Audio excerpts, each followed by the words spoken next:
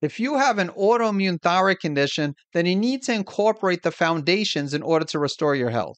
The week of August 19th, I'll be hosting a free five day live event entitled The Foundations of Overcoming Graves' Disease and Hashimoto's. Each day that week, there will be a live call where I present multiple lessons on the foundations, and at the end of each call, there will be the opportunity to ask questions. I'll be rotating the times in order to accommodate those in different time zones, and everything will also be recorded. To register for this free online event, visit thyroidfoundations.com. Hey, this is Dr. Eric, and this is another Your Thyroid Questions Answered Q&A episode where I will answer questions from multiple people. Once again, I plan on doing this every few months, and so if you have a question, please send it to info at naturalendocrinesolutions.com, and I'll try to answer as many as I can within a 30 minute period that I think will benefit many of the listeners. And feel free to leave your first name if you want me to shout you out. I got an overwhelming amount of questions this time. And so while I apologize in advance for not answering all questions that were submitted, I've decided to split this up into two separate episodes. Because a lot of the questions focus on hyperthyroidism, what I plan on doing is having a separate episode called Your Hyperthyroid Questions Answered, which will air in a couple of weeks. As for this episode, I will answer questions related to both hyperthyroidism and Hashimoto's. So let's start off with the first question, which is from Jessica. And Jessica's question is where to get started with testing to see the origin of where I have or why I have Graves' disease. So, again, where to get started with testing to see the origin of why I have Graves' disease is the question. And it's a good question. I mean, everybody's different, and there's definitely different triggers and underlying imbalances. And so I will say with everybody, I do blood testing, and I'm not going to go into detail with every single test I recommend, but I do a lot of basics. Obviously, I'm going to recommend a thyroid panel with antibodies, but that's not going to look at the origin. That's just going to tell you if you have a thyroid or autoimmune thyroid condition, you know, Graves, hyperthyroidism, the presence of TSH receptor antibodies, specifically thyroid stimulating immunoglobulins. But I will look at nutrients, vitamin D, a complete iron panel, B12, and I will do a CBC with differential, comprehensive metabolic panel, lipid panel, HTP, which is C reactive protein. It's an inflammatory marker, homocysteine. I usually will do some testing for viruses, which can be a factor in Graves' disease, such as Epstein Barr. I like to do adrenal testing, either saliva testing or dried urine testing. So I've been doing adrenal testing for quite a long time because stress is a big factor with a lot of people. And while you could just assume that stress is a factor and treat adrenals, different patterns warrant different treatment options. I mean, obviously, regardless of what the adrenals look like, you can do things to block out time for stress management. But when I give specific recommendations, I do take into consideration how the adrenals look. So saliva testing or dried urine testing, you don't want to do blood testing because it's just a, they'll look at a single cortisol sample and you want to look at the circadian rhythm of cortisol. I do like hair mineral analysis testing to look at some of the minerals. Again, I don't rely on it on the minerals. I like to also look at blood testing, but it's not only mineral deficiencies, but toxic minerals like copper, for example, toxic metals, there are times when I'll do a comprehensive stool panel to see if someone has whether it's pylori or parasites or other types of dysbiosis, organic acids testing. But to get back to your question, where do I get started? What I do is I do blood testing on everybody. I do adrenal testing. Typically, I do hair testing. And then it depends on the history of the person. I mean, you can't always go by symptoms, but if someone does have a lot of GI symptoms, I will recommend a comprehensive stool test. If they don't, then maybe I won't initially and, and maybe I won't at all, but you can't always rely on symptoms. People could have H. pylori, parasites, other issues with the gut without symptoms. So that's just something to keep in mind. So I uh, hope you found that helpful, Jessica. Definitely check out some of the other episodes on my podcast where I talk about more more about triggers and underlying imbalances. Same thing on my website, naturalendocrinesolutions.com. All right. So the next question from Velvet is about the parathyroid. So pretty much her question is would you be able to explain the function of the parathyroid, what happens when antibodies are attached to them, and what tests will help in diagnosis and treatment? What can one do when the parathyroid is involved? And I will be having an episode in the near future where I have an expert where I talk about parathyroid. So I, am not going to get into great detail here. I also have an article on my website, naturalendocrinesolutions.com. And I will say I'm not a parathyroid expert. So, I mean, the parathyroid glands, to answer your question as far as the function, so the parathyroid glands located on the backside of the thyroid glands, and they're responsible for producing parathyroid hormone. And this hormone plays an important role in the regulation of calcium, phosphorus, as well as vitamin D. And so, when calcium levels are low, the body responds by increasing the secretion of the parathyroid hormones. And this, in turn, will increase the calcium levels in the blood.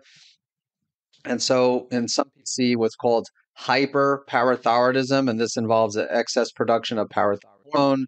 And you will see on a blood test elevated calcium levels. But you need to be careful because sometimes in hyperthyroidism, you'll see elevated calcium levels. So, like if you have Graves' disease or any other type of hyperthyroid condition and you have elevated calcium on a comprehensive metabolic panel, this does not mean that you have hyperparathyroidism. It might mean that you have it, but then you want to do some further testing and you could test the parathyroid hormone, PTH, if that is out of range. That's when you probably want to see a, a specialist. And unfortunately, one of the more common causes of hyperparathyroidism is an adenoma, which is a benign tumor. And I say unfortunate just because I don't know of any natural treatments that are effective. And I've had people follow such a protocol under another practitioner. Again, I'm not an expert when it comes to treating parathyroid gland, natural parathyroid, um, just abnormalities of the parathyroid gland. And it's unlike thyroid conditions. So you mentioned antibodies. So I'm not aware of any autoimmune conditions involving the parathyroid gland. And again, um, it might be out there, just it's not like Graves and Hashimoto's, or at least, again, not to my knowledge. But I'm recording this before I interview the specialist on the parathyroid. And so I will uh, try to remember to ask that question as far as like auto antibodies and the parathyroid, see what her response is. So good question. And again, there's more coming in a future episode. So the next question is from Vicky. And her question is, is killing your thyroid better than the side effects of PTU? PTU is a type of antithyroid medication. So my doctor that PTU is bad and he wants me to do the radioactive iodine treatment to kill it. I would then be on Synthroid long term, which is thyroid hormone replacement. I do have heart palpitations, so I'm considering it. So most endocrinologists will recommend methimazole over PTU, but if someone is not responding or not usually they'll respond to the methimazole. The problem with methimazole is that side effects are common causing the liver enzymes to elevate or it's depressing the white blood cell count, or if you're just not feeling well on it, maybe you have c- certain symptoms. And so the endocrinologist said, well, let's take PTU instead. So the problem with PTU, I mean, it's similar to methimazole. I mean, it, it, can cause side effects, but the concern with PTU is that there are a few case studies showing that it caused liver failure. Again, very rare. So I'm not trying to encourage anybody to take PTU. Everything comes down to risk versus benefits. And if you do some research on PTU, you might come across those case studies. And understandably, endocrinologists are concerned about that. But again, I've had a good number of people on PTU over the years. Again, not my recommendation because I don't prescribe antithyroid medication, but they were taking it under the guidance of the medical doctor and again, it's definitely not as many people were, have been on PTU when compared to methimazole, but a good amount have been on it where I could say that I have not seen anything really bad happen. It's not like I've seen thousands of people, maybe hundreds on PTU. And again, not nearly as many as methimazole. Like I said, I have not seen anything really bad as far as like liver failure. There's, I guess there's always that risk out there, but there's obviously a big risk when getting your thyroid ablated or getting your thyroid removed surgically. So it comes down to risk versus benefit. So I will say this. I mean, if I had to choose between taking PTU or getting radioactive iodine thyroid surgery, I personally would choose the PTU. I'm pretty confident. Now, that being said, when I dealt with Graves' disease, I didn't take any antithyroid medication. I took herbs such as bugleweed and motherwort in my specific condition. L-carnitine in higher doses has antithyroid properties. I have a few episodes on the podcast where I talk about low dose naltrexone as a potential option, cholestyramine also as options. So there are other options besides antithyroid medication. I definitely would tune in some of those other episodes before resorting to radioactive iodine or, or thyroid surgery. Again, ultimately it's your choice. It's up to you. But even if you don't want to take PTU, or if you listen to your doctor who's, who's encouraging you to get the radioactive iodine instead of the PTU, if you decide you don't want to get the radioactive iodine, but also don't want to take the PTU, then maybe look into the natural options, or again, maybe look into low dose naltrexone or cholestyramine. So, next question is I'm still struggling with those TPO antibodies and need to lower them more than I am now. I'm in the low 500s, but that's way too much. I feel great. My goiter is gone, which is wonderful. Entering 2024 with Whole30 detox and then a veggie only diet for 30 days to see if that will help. So, any information you have, I would love to hear it. Thanks so much as always. Yeah, there's a few different questions related to thyroid antibodies. And I always tell people to tune into episode number 50, which you can check out by visiting savemythyroid.com forward slash 50. That's dedicated to lowering antibodies. But of course, there are other episodes where I talk about specific issues that can cause high antibodies. I mean, I talk about different categories of triggers. So there's food, there's stress, there's chemical, there's infections. So any of the episodes that relate to these, which again, there's a lot of episodes that relate to the different topics, and many of them are guest interviews, some of them are solo episodes. I wish I could say that there's brand new information, you know, over the last year, but really it does come down to finding and removing the triggers, correcting the underlying imbalances, which I make it sound easy, but definitely it's not. Uh, it's it's not, or I make it sound easy when I just said it here. But you know, if you listen to the episode, you definitely will get to the episode 50 specifically. I think you'll get the impression that it's not easy, but it's definitely doable. So the next question is from Marissa. So, how do you stop being hot with hyperthyroidism and Graves? And how do you bring down antibodies quickly? I went from 512 to 425, and my T3 1.3 and T4 4.0, TSH 0.01. I've had thyroid issues since taking the vaccine. And then she also asked, Do you believe that EBOO, which is blood ozone with oxygenation, with light therapy, spike proteins out of my blood? Because that's what's attacking my thyroid. So, I will say I, I, had ozone for when I dealt with chronic Lyme disease in uh, 2018 and also had uh, UV light therapy. So I'm not sure for the purpose you mentioned, but yeah, I mean, I do believe that there's benefits to IV ozone um, as well as UV light. But as far as again, antibodies, I already mentioned episode 50. So save my thyroid forward slash 50. And then as far as stop being hot with hyperthyroidism, I mean, it's really lowering those thyroid hormones. I mean, obviously, hormones like other hormones, uh, like sex hormones, if someone has low estrogen, then that could cause hot flashes. But if we're talking specifically the heat intolerance associated with hyperthyroidism, then you want to do things to lower thyroid hormones. And if you're not taking thyroid medication, as I mentioned previously, you might want to look into natural antithyroid agents such as bugleweed or higher doses of L-carnitine. So, next question If thyroid nodules are too small for biopsies and are monitored and may cause anxiety symptoms, shouldn't they be removed? I thought the whole idea of catching something early was the way to go. I mean, ideally, you want to try to address the cause of the problem of the nodules, which I also discussed in different episodes. Two of the more common causes when it comes to thyroid nodules are problems with estrogen metabolism and insulin resistance. So I wouldn't say you want to like physically remove them, especially if they're small. I mean, you could do something like radio frequency ablation for thyroid nodules. Yeah, definitely don't want to do radioactive iodine for thyroid. I mean, I'm not a fan, as you know, when it comes to radioactive iodine, period. But when it comes to nodules, even like radio frequency ablation is more I guess you could say more alternative. I don't know if I want to use the term natural, but could be expensive. It's not uh, maybe in some cases covered by insurance. For like smaller nodules, it's not usually an option. So I would say, yeah, you want to address the cause of the problem, which of course most endocrinologists don't do. And that being said, sometimes it can be challenging with thyroid nodules. It's not like I have 100% success where someone has even like larger thyroid nodules and then we do things naturally. They do a follow up ultrasound. I'd love to say that every single person has that thyroid nodule shrink and and completely disappear, but that's not always the case. But definitely, there, I do have success in that area. But I'm a person, and you know, not as concerning when they're small.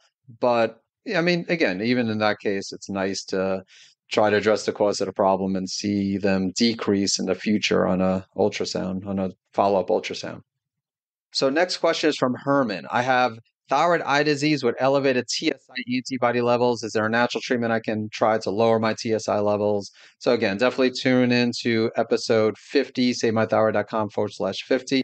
That there are some things like selenium for both, not just TSI, but thyroid peroxidase antibodies can sometimes be helpful having healthy vitamin d levels you know eating anti-inflammatory diet again these are things i probably also covered during that episode but just some things i could throw out here but but yeah definitely listen to that episode when it comes to lowering thyroid antibodies so Jennifer asks, can hypothyroid be cured? And do you say that hypothyroid is the same as Hashimoto's? So, I mean, not all cases of hypothyroidism is Hashimoto's. Most cases of hypothyroidism are Hashimoto's or autoimmune in nature, just like most cases of hyperthyroidism is Graves, but there are exceptions. Some cases of hyperthyroidism are subacute thyroiditis or toxic multinodular goiter, and it's similar with hypothyroidism. Some, not all cases are Hashimoto's. It could be other cases. And so, I don't like to use the word cure, especially when it comes to Hashimoto's, because there is a genetic component. I, yeah, I used a the word permanent remission. I know some people just don't like the term remission, but to me, permanent remission is very similar to, to cure. One could say maybe even synonymous. I was uh, diagnosed with Graves' disease in 2008, which again, like Hashimoto's, is autoimmune. And, you know, I've been in remission since 2009. Now, thankfully, I haven't relapsed. So can I say I've been cured? I mean, it's been what almost 15 years now since being in remission? And i think with cancer they say if you've been in remission for five years it's a cure so maybe. I mean i'm cautious about using like i said i like to think i'm in permanent remission but obviously i don't know that for sure. There's always a chance of relapsing. So yeah so you could definitely restore your health and even certain autoimmune hypothyroid conditions to a permanent state of remission, or again, in some cases, cured for non autoimmune, that maybe there's not a genetic component. I mean, if someone has congenital hypothyroidism, then I don't know an option like a solution for that. But you know, if someone has, let's say, environmental toxins like xenoestrogens, and they're not causing an autoimmune response, but they're directly impacting the thyroid gland, then in this situation, by doing things to reduce your toxic burden and definitely minimizing exposure to xenoestrogens over time, then yeah, I would say in this case that that could be cured. But if it's autoimmune, I'm just cautious about using the word cure. I know some practitioners do. I can't say I never have done it, uh, especially years ago, but like I said, I, I like using a term permanent remission instead. So, next question I have heard that hyperthyroidism causes the thyroid to burn out and then you become hypothyroid. Is this true? What can prevent or delay it if it is true? I actually have a specific Q&A episode on this. I don't remember when it was released, but if you visit savemythyroid.com website and just click on podcast, and maybe do like a control F search and type in burnout. I forget what the question was specifically, but it was about this. Does the thyroid gland burn out? Something like that. And uh, the answer is, the quick answer is no, it doesn't burn out. But if someone has the antibodies for both Graves and Hashimoto, then over time they might become hypo. And so it's not the same as what the endocrinologist mentioned burning out. I mean, if someone has subacute thyroiditis, they commonly will go from hyper to hypo. Most of the time will become euthyroid, which means they have normal thyroid hormone levels again, although that's not always the case. But yeah, definitely check out that Q&A episode. All right, so Laurie, can you remind me of all the benefits of glutathione and how much I would need to take in a month to get results?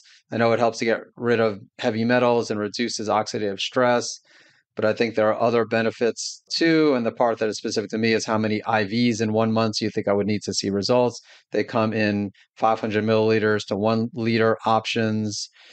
do you have to take a binder with glutathione? Can you completely get rid of heavy metals with just glutathione? So I'm trying to answer as many questions as I can. So that's why I refer people to my website or podcast episode. So I'm going to do the same in this case.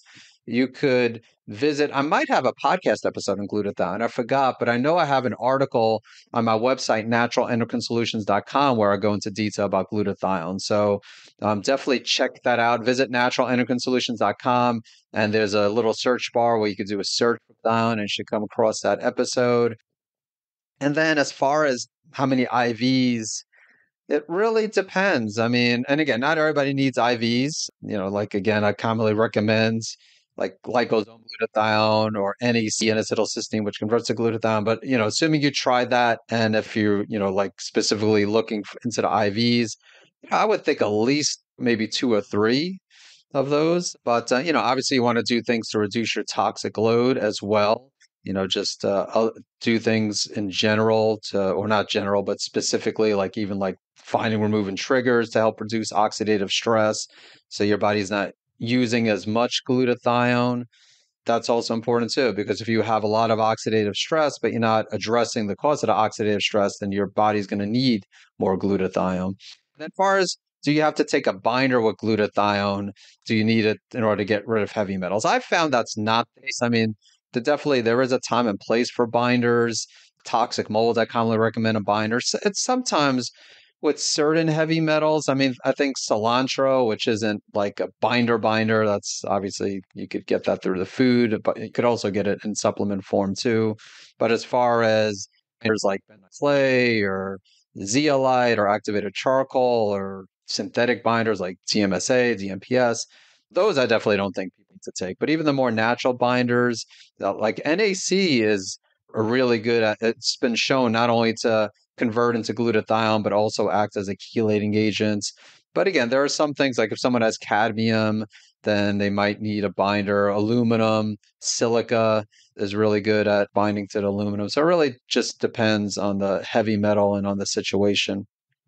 All right. And so thanks for your question, Lori. And we got, I hope I'm pronouncing your name right, um, Marica, M A R I C A her question is about I have a question about the TRAB range, which is a TSH receptor antibody range.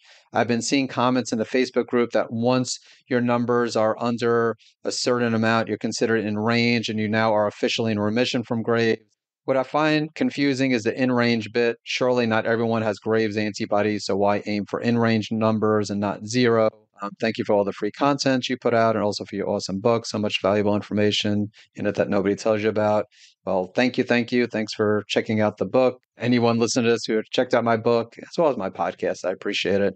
And uh, yeah, I mean, there's definitely controversy over antibodies. I will say that you know, if you look at the research, some say that some antibodies are normal. Now, does that mean that just about everybody should have Graves antibodies? Well, I mean, most people aren't going to test for those unless if they have Graves. But I would say my goal with the antibodies is not just to get it within a range, but I find that in many cases we're not getting to zero. Now, in some cases, like I just had someone with Graves' disease and you know her antibodies now are less than 0.10 and there's different ranges when it comes to graves. Some labs use a percentage but with her like it was less than 0.55 that's the range so like if she's 0.54 she would be considered within range but that's still on the higher side. Yeah of course i love like in her, situation where it's less than 0.10 and some people i'll see it like less than 0.3 and that's where it comes down to early when I said like cure versus remission. Even the person who is less than 0.10, you know, are they truly cured? So, I mean, my goal is to try to get it as low as possible. But at the same time, if like, you know, I'm working with someone and, you know, they've done a good number of testing and done everything they can from a diet and lifestyle standpoint, and their numbers, their thyroid panel numbers look great, antibodies are well below the reference range, but still not completely negative. Again, I'm not going to tell them, well, let's, you know, spend, keep on spending money on more tests. I mean, some people might want to do that. But I mean, usually they don't. Usually they want to do that if the antibodies aren't normal and we're struggling to get the antibodies within the range. Then obviously some people want to dig deeper, and I'll want to dig deeper as well. But if the numbers are well within the reference they're on the higher end of the reference range, I'm not too happy and I would try to do things to get it lower. But like I said, if it's significantly below the range, but not negative, it's really up to the person. But I think it's fair to say, okay, let's continue to do things to maintain a state of wellness and just monitor your numbers, monitor your antibodies. If you want to do it more frequently, like for many people, it's I think it's fine doing it like once a year, especially like antibodies. Someone wants to do them, you know, like two, three times a year, even quarterly, maybe initially, just to make sure they're not increasing, that would be fine. And then next question is from Maria. So, what diet should you eat with thyroid issues? There's so many opinions out there. Also, how do you switch from pharma meds to herbs? Uh, thanks for all that you do. All right. Well, thanks for your question, Maria. So, I mean, as far as the second question, how do you switch from pharma meds to herbs? I can't tell someone like to switch to like taking their meds, but you know, in the case of, you know, let's say Hashimoto's, you know, because again, there's a lot of questions with hyper, but it also applies to hyper. So, we'll, you know, for if someone's on thyroid hormone replacement, which again, I wouldn't say is necessarily medication, like it's again, it's more of a replacement.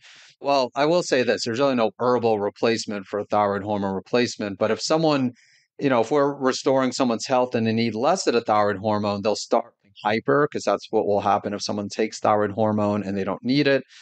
Now, as far as anti-thyroid medication, if someone's taking methimazole and they want to make the transition to bugleweed, I wouldn't say I can't tell someone, okay, stop taking methimazole and take bugleweed. And I wouldn't tell someone to do that anyway. What I would say is, you know, continue taking the medication, take the bugleweed in addition, maybe not take it right next to it, maybe like 30, 45 minutes apart from the antithyroid medication. And then if the bugleweed does its job to be more eventually more on the hypo side, and then the prescribing doctor should lower the dose of the methimazole. And then really that's how you're making that transition is really just relying more over time on the herbs and less on the medication. Oh, and then um, the diet. I almost forgot to answer that first question. What diet should you eat with thyroid issues? I mean, there's no perfect diet that fits everybody. You know, I'm actually coming out with a new book on hyperthyroidism that should be out with the first quarter. I'm pretty confident. Uh, I wasn't too confident a few months ago, but I think it will be out by March. And there's not just one diet option. So I'll spoil it for you. It's, uh, you know, I recommend for Graves and Hashimoto's autoimmune paleo, AIP. You know, again, it's not like that's the perfect diet for everyone with Graves and Hashimoto. So there are other options, like following a regular paleo diet is a good option for some people. Obviously, you want to focus on eating whole, healthy foods, avoiding refined foods and sugars. I recommend for everybody to avoid gluten. I would say it's a good idea to avoid dairy. I usually recommend AIP or paleo now, in the book, obviously, I talk more about that because there are all like variations, especially when someone has hyperthyroidism. But so nightshades are commonly they are excluded from autoimmune paleo but then there's also controversy with iodine in food which aip diet allows plenty of i like if someone wants to eat seaweed for example or kelp on an aip diet then usually there's no restrictions. But if someone has a thyroid condition, then having too much iodine might be a problem. And again, I'm definitely not anti iodine. I've had experience with iodine in the past, but just the truth is, some people don't do well with iodine. But yeah, definitely check out. I have some information on my podcast. And then in the upcoming months, I mean, for those with hyperthyroidism, definitely I would, of course, recommend my book. But then I will have also additional information surrounding the promotion of the book, talking more about diet. So definitely check that out. And and the information, some of it will also benefit those with Hashimoto. So even though the book focuses hyper, some of the future episodes where I talk about diet or if I do like Facebook lives and stuff like that or challenges again. If you've been following me for a while, I do have multiple events per year. So definitely get on my email list if you're not on my email list. And um, if you're not on my email list, just visit one of my websites, savemythyroid.com or naturalendocrinesolutions.com, and you'll get an opportunity to uh, get on my list. So Marlene has a question here. How soon after the TSH, which again, thyroid stimulating hormone, becomes suppressed, can the levels rise following a natural protocol? And what additional steps can one take to promote the successful restoration of a healthy TSH balance? Yeah, so I definitely have some episodes on the podcast about healthy TSH balance. And one of them is recent. And then another episode is how long does it take for the TSH to increase for those with hyperthyroidism? And the answer is both thyroid hormone levels need to be well within the reference range for TSH to start increasing, at least in most cases. And it could take a number of months to happen. So, uh, you know, obviously, if someone gets out there on medication, quicker process. But if someone is doing everything naturally, it could take more time for that to happen. Sometimes it could take six months. I'm not saying all the times, but again, it could take six months or longer in some cases for that TSH to increase. So I wouldn't stress out about the TSH as long as everything else is improving, as long as the thyroid hormones are lo- looking better, and you know you're feeling better, or maybe other tests are looking better. To me, that's uh, more important because eventually TSH should normalize. So Frida has the next question, which is Are protein shakes the best way to get enough amino acids or glutamine or collagen powders? Which would you recommend? And how does perimenopause affect the thyroid? And how can one boost libido? And uh, thank you for this platform. So thanks for your question, Frida. I mean, food is the best way to get enough amino acids. Like you definitely can supplement with protein shakes. Uh, you might wonder, well, how can I possibly get enough protein through the diet? But yeah, you definitely could. I mean, if if someone is more of a vegetarian or especially vegan, it could be very difficult, and then you want, might want to rely more on protein shakes. And I, you know, even though I'm not a vegan or vegetarian, I do eat meat. I also have a smoothie, and I add some protein powder glutamine is just like a single amino acid so you wouldn't want like just taking amino glutamine is insufficient and collagen i do like collagen powder too. It's just incomplete so again you wouldn't want to rely on collagen powder but if you rely i mean there's like hydrolyzed beef or bone broth protein. I mean a good organic pea protein. It's not aip friendly but that also could supply a good amount of protein but again it's these are all supplemental to me you wouldn't want to get most of your protein through shakes or supplementation. I mean, you could get like take an amino acid supplement, but again, you want to try to get as much as you can through food. There's actually an episode, a recent episode on perimenopause, the relationship with the thyroid. And so I would tune into that. And you know, as far as boosting libido, also there's episodes talking about that. I will say you need healthy adrenals to have healthy sex hormones. So that's usually the first place I focus on when someone has a low libido is trying to improve adrenals, and by improving health of adrenals, that could help uh, improving the sex hormones progesterone, testosterone, estrogen, and in turn, libido frequently will increase. I mean, some people need additional support to help, especially like with testosterone, like uh, maybe they need bioidentical testosterone in some cases, but there is a time and place for supplementing. But I would say try to do everything you can through diet and stress management when it comes to libido. I'll leave it at that. I was going to say something else, but more related to men. Like if someone has, you know, like if a male has like erectile dysfunction, then we might need to do things like improve like circulation and do other things from a supplement standpoint. Although again, those are we want to still address the cause of the problem. We don't want someone to rely on supplements permanently.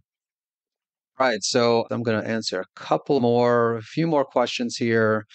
And will heart issues I've developed since my Graves' disease diagnosis, such as arrhythmia and tachycardia, stop when the thyroid numbers get into normal range, or are those things here to stay?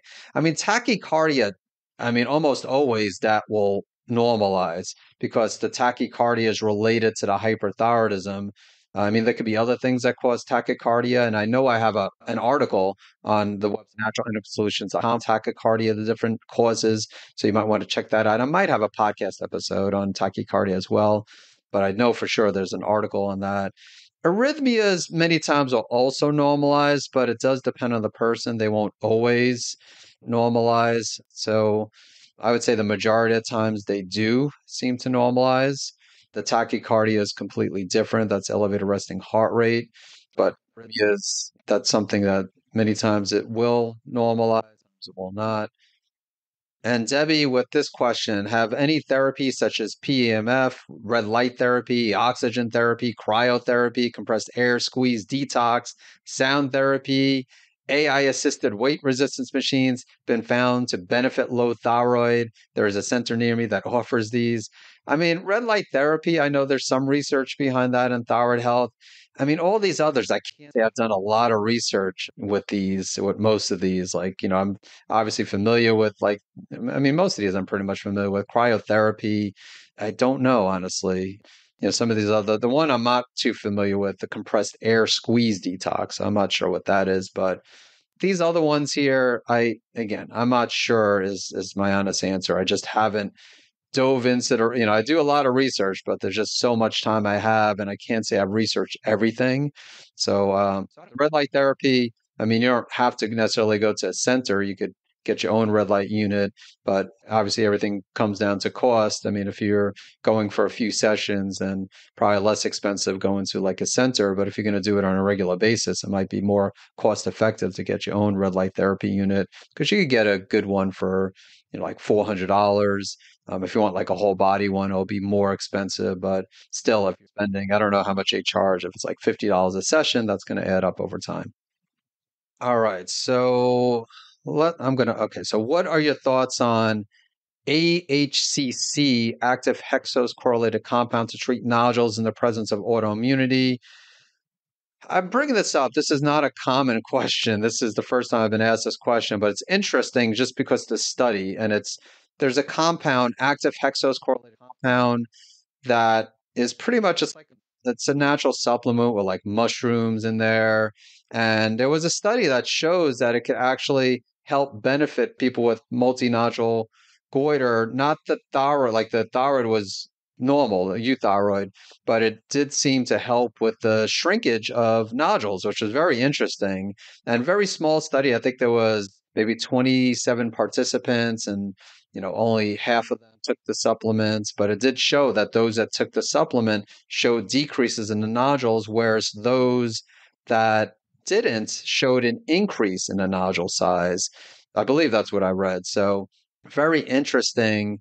One of the concerns so again i don't know i don't have experience with this but eh, yeah it's something that's interesting and i might need to bring up and see just have people do it and then all I know is to do follow-up ultrasounds. Again, it's challenging because I do other things too. So like if someone's taking AHCC and we're also doing things to improve estrogen metabolism and you know insulin resistance uh, you know how do we know if it's the supplements or if it's addressing the cost we don't know if we're doing other things but still very interesting um, now her question could it aggravate autoimmunity by stimulating the immune response so I'm bringing this up because there is some controversy with mushrooms. And so she was wondering would it be best to get the disease in remission before trying to treat nodules with this? And I mean, I will say in theory, mushrooms might exacerbate autoimmunity, but I really haven't seen it. Who knows? Maybe there's people, there are people listening to this where it has been the case, and everybody's different. So, I mean, hear this the same with like echinacea, for example, or elderberry, that it boosts immune system. So someone with autoimmunity would take these, but I haven't seen it in practice where someone takes it and it worsens the autoimmunity, you know, Graves or Hashimoto's. So the honest answer though is I'm not sure. So I don't want to say definitely take it if you have Graves or Hashimoto's because I, I don't want to say it's not going to be a problem in everyone, and then someone takes it and it does exacerbate the autoimmune response. I'm not too concerned. I mean, I one of my products I have, Hepatoimmune Supreme, which is a very popular product. It supports liver, but also has immune support. And I've had a lot of people take it over the last year since it's been it's been available now for a little over a year. And again, I don't think I've had anybody come back and say uh, that it's exacerbated their autoimmune response. It only has a couple of mushrooms, so uh, this one I forgot it has has more than two, I believe, and so again, maybe it's just the, what the ones that are the Hepatoimmune Supreme, which are reishi and cordyceps, which seems to be, pretty safe, but maybe some of the others are more concerning. I do have an article on my website about mushrooms, probably something I should also put into uh, and a, a podcast as well. Maybe I did. I, I forgot. Again, I have so many so many articles in the past, but then also now a few hundred podcast episodes that I, I remember. I forget which one. Usually, I remember. I don't know why I remember articles but probably because a lot of times what I'll do is I'll repurpose the article, like I'll use some of the same information and turn it into a podcast. So rarely is it the opposite where I just create a podcast episode completely from scratch. You know, I've had the website Natural Endocrine Solutions for so long, 2010. So I've written about so many different things.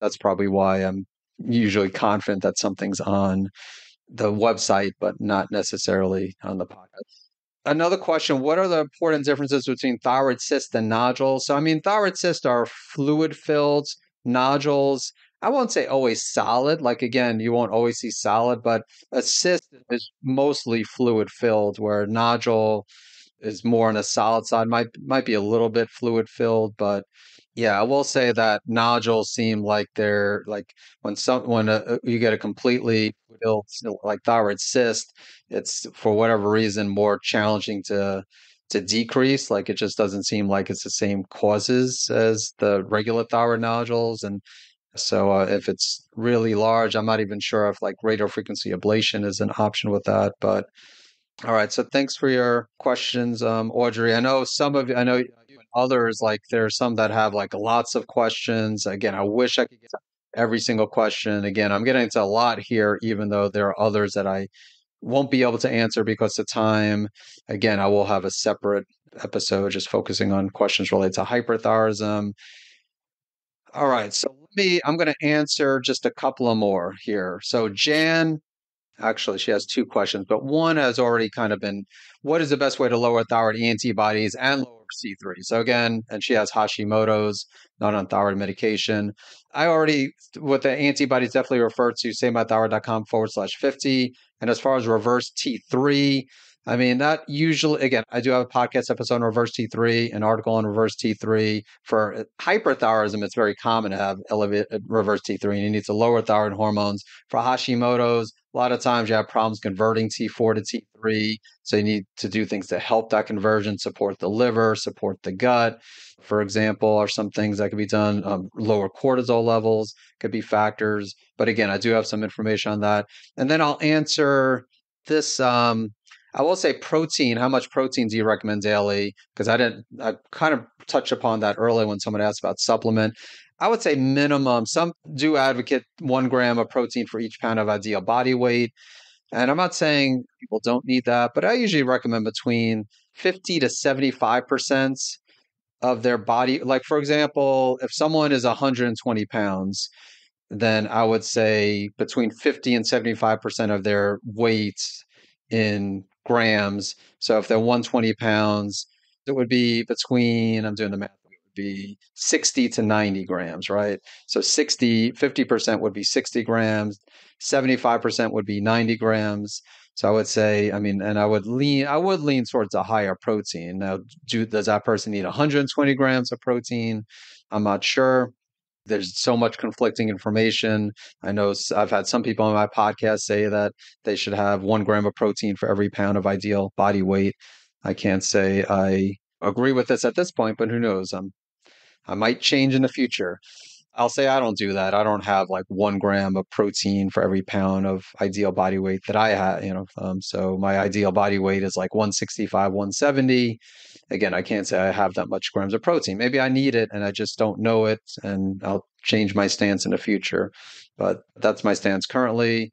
And one thyroid group advocates taking thyroid hormone as a complete replacement instead of a small addition.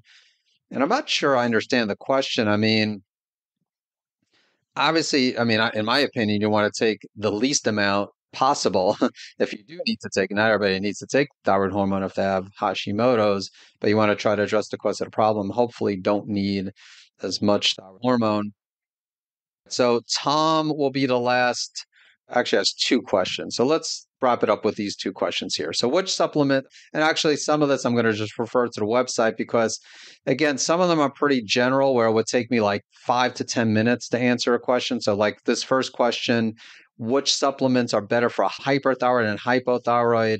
And again, I assume you're not at like bugleweed is more for hyper, but not hypo. But I don't think you're asking really that. You're asking like things like turmeric works for hypo, but not hyper according to your blood test. I would disagree. I would say, I mean, maybe it's according to your blood test, but I, I give a lot of my patients turmeric who have hyperthyroidism, including Graves' disease. I know there's some like years ago talks about like Th1 and Th2 balance with the immune system and certain herbs, like again, echinacea, okay for hyper, but not good for hypo or Hashimoto's. But ashwagandha, I've had a lot of people with hyperthyroidism take ashwagandha, but there is some concern that it can increase hyperthyroidism in some cases, but it doesn't seem like that's the case. And if it does do that with hypo, then that's not necessarily a bad thing. I talk a lot about supplements on my website and or again maybe even like a future live events to, to get into where I could get into a little bit more detail. But then okay, so this is the last question. Can other hormones produced by other glands like adrenals affect the thyroid? Yeah, I mean definitely typically sex hormones i mean i won't say they won't affect thyroid i mean because they kind of they usually affect the immune system more thyroid to answer your question yes adrenals without question can affect the thyroid hormones and if you have a especially like high cortisol levels it could affect the conversion of t4 to t3 uh, and uh, which could result in like a lower T3, but also could affect the immune system, which could affect the thyroid. And then again, sex hormones typically won't affect thyroid directly, but will affect. I mean, not that it can't, but like someone asked about perimenopause, and then you got questions: Can perimenopause, menopause affect the thyroid? Potentially, it could, but it also affects the immune system, which could affect the thyroid. And again, there's episodes on that. Definitely went way over what I expected. Which the reason I try to keep these short is, you know, so with the Tuesday episodes are longer they're meant to be longer. The Thursday episodes are meant to be short, and I have an editor. Part of the arrangement is that the Thursday episodes are shorter. Otherwise, I'd have to like again just make different arrangements if they're long. Plus, again, it's very challenging coming up with content. This is not challenging, just answering questions. But the purpose of Thursday mainly is to spend five ten minutes just answering a question, covering a single topic.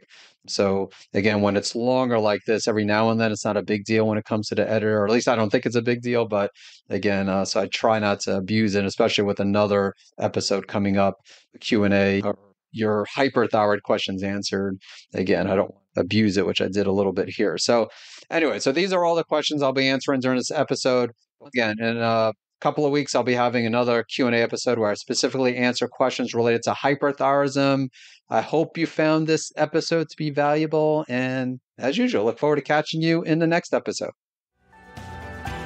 Thank you for listening to the Save My Thyroid podcast. If you haven't done so already, make sure you hit subscribe to stay up to date on the latest thyroid health related topics. And to get your free thyroid and immune health restoration action points checklist, visit SaveMyThyroidChecklist.com. Thanks so much for tuning in.